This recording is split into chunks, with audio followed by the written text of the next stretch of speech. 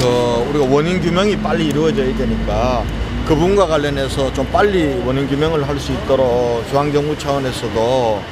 어, 최대한 지원을 해주고 두 번째는 복구하는 과정에서 저희들이 이게 특별 재난 지역으로 설정하는 문제를 좀 검토해 달라고 요청하여 드렸고 또 그것이 안 된다면은 거기에 준해서 중앙 정부가 지원할 수 있도록 교부세에 대한 지원 부분들을 건의를 드렸습니다. 그리고 장관님께서도 특별 재난 지역도 검토를 하되 다만 그건 요건이 까다롭기 때문에 그게 안 되더라도 거기에 준해서 빨리 복구돼서 우리 상인들이 일상으로 돌아가고 정상